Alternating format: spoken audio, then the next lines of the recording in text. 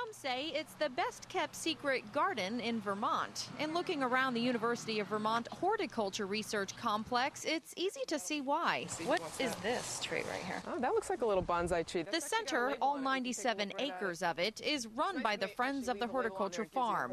The group was organized in 1994 to protect and promote uh, plant collections that had been used for research by the school. Research like growing a disease resistant elm tree. We raise all our own funds, and it's basically to maintain the collections. So things like compost, mulch, pay our interns that we hire in the summer. To do that, they're preparing for their 15th annual benefit plant sale, their largest annual fundraiser. Hi, are you bringing plants in? Organizer Lee Diamond says over 80 nurseries are donating all kinds of plants, flowers, and trees, all to be sold to the public. As soon as the doors open Sunday, you get, I mean, It's crazy.